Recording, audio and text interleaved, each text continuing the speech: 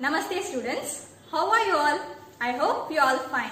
So in last class we are seeing about the hearts of food and nutrition lesson. Today we shall see the life skill and values. Okay, there are two friends. So one friend want to eat pani puri. So will you join that friend to eat it?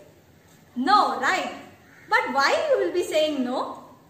Because it is a junk food and it is sold in a roadside.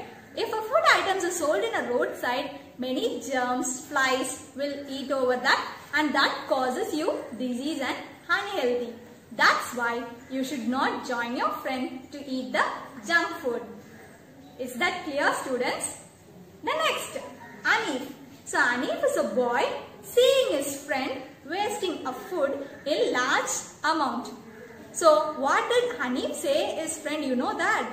So he is saying his friend that we should not waste the food because many farmers are working hard to grow that food. So he said wasting food is not good. You should not waste the food. So the value here learned by Anif is we should not waste the food and we have to think others who have been working hard to grow that food. So can you understand? I hope you also will not waste the food and eat them properly. Thank you students.